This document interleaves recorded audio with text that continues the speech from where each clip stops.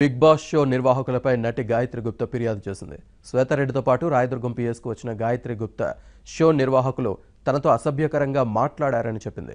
Big boss త్రీలో నటించేందుకు సిద్ధమా అని రఘు అడిగారని వంద రోజులు బిగ్ బాస్లో ఉండాల్సి వస్తుందని ఆయన చెప్పినట్లు గాయత్రి గుప్తా వెల్లడించింది.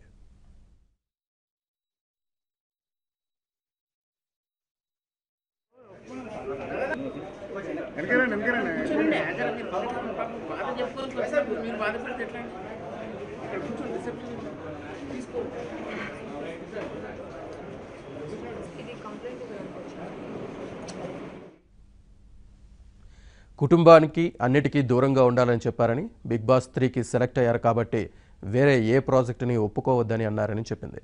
ముంబై నుంచి అభిషేక్తో పాటు రఘు రవికాంత్ తన ఇంటికి వచ్చి అగ్రిమెంట్స్పై సంతకాలు చేయించుకున్నారని గాయత్రి గుప్తా తెలిపింది.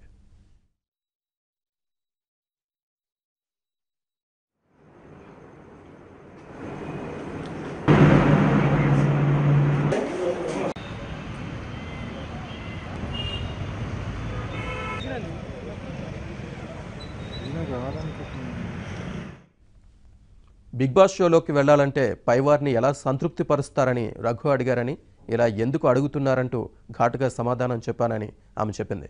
తర్వాత ఒకరోజు ఫోన్ చేసి బిగ్ బాస్లో సెలెక్ట్ కాలేదని చెప్పారని బిగ్ బాస్లో సెలెక్ట్ అయ్యానన్న ఉద్దేశంతో ఆరు సినిమాల్లో ఛాన్సులు పోగొట్టుకున్నానని ఆ నష్టపరిహారం చెల్లించాలని బిగ్ బాస్ నిర్వాహకులను కోరానని తెలిపింది.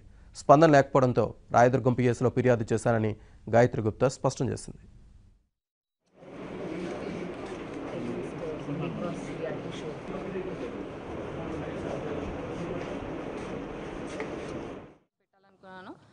కంపెన్సేషన్ గురించి ఉమెన్ సెల్ఫ్ రెస్పెక్ట్ని హర్ట్ చేసే మాటల గురించి కూడా ఈ రెండు విషయాలపైన కూడా నేను కేసు పెట్టేసాను డీటెయిల్స్ అంటే ఒకటి ఏంటంటే uh, నా త్రీ మంత్స్ ఆఫ్ టైంకి మధ్యలో వచ్చిన ప్రాజెక్ట్స్ అన్నీ వదులుకోవాల్సి వచ్చింది. సో దానికి కంపెన్సేషన్ గురించి అంటే నాకు ప్రామిస్ చేసిన టూ అండ్ హాఫ్ మంత్స్ తర్వాత మీరు లేరని చెప్పి మోసం చేయడం ఇంకా సెక్షువల్ వైలేషన్ కంటెంట్ మాట్లాడినందుకు అదొక విషయం గురించి హింసించడం అంటే అది చాలా ఇండైరెక్ట్గా కొన్ని డైరెక్ట్గా కొన్ని మాటలు మాట్లాడాలి. కొంతమందిని అయితే డైరెక్ట్ డైరెక్ట్గా అడిగారు.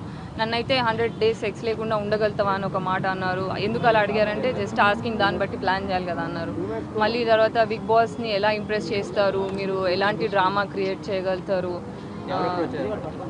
ఫస్ట్ రఘు రఘు ఇంకా అభిషేక్ అని మా రవికాంత్ గారు అని వీళ్ళు ముగ్గురు అప్రోచ్ అయ్యారు. వీళ్ళు మాట్లాడారు. గాయత్రి గుప్తా అని తెలుగు యాక్ట్రెస్ ఈమె. ఈమె ఇక్కడ మా రాయదుర్గం ఏరియాలోని మణికొండ జైన్ నగర్ కాలనీలో ఉంటుంది. ఈమె లాస్ట్ త్రీ మంత్స్ బ్యాక్ ఈ బిగ్ బాస్ సీజన్ త్రీ వాళ్ళు ఈమెను అప్రోచ్ అయ్యారట అందులో పార్టిసిపేట్ చేయడానికి.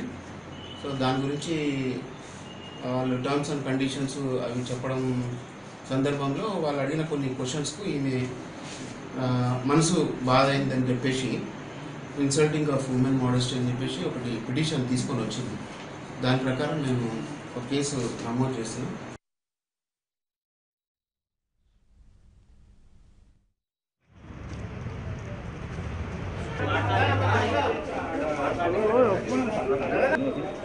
వెనకరండి వెనకరండి. కూర్చోండి అక్కడ మీరు పాపం పాపం